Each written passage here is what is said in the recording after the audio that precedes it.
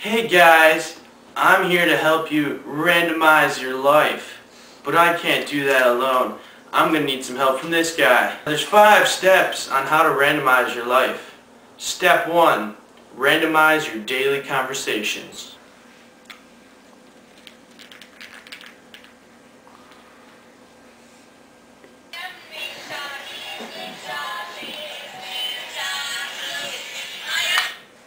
Hey, what's up, dude?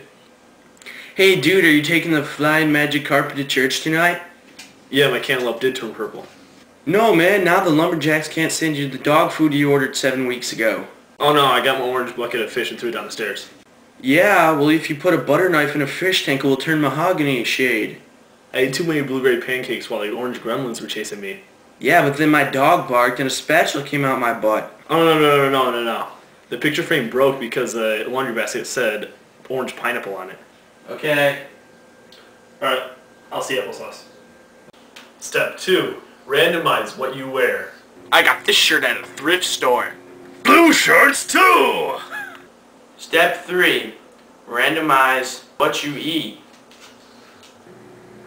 What are you eating today, Jon?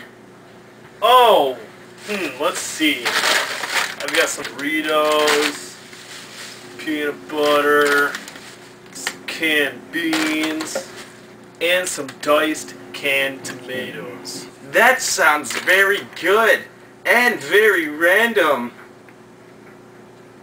Don't say random. That's Step 4. Randomize what you watch. being here so long. My family will red wine vinegar, EVOO, salt, pepper.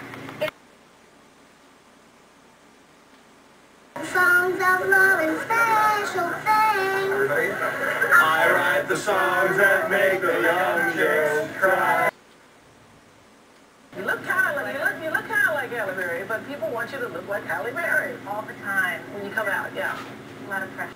Step 5. Randomize how you sleep.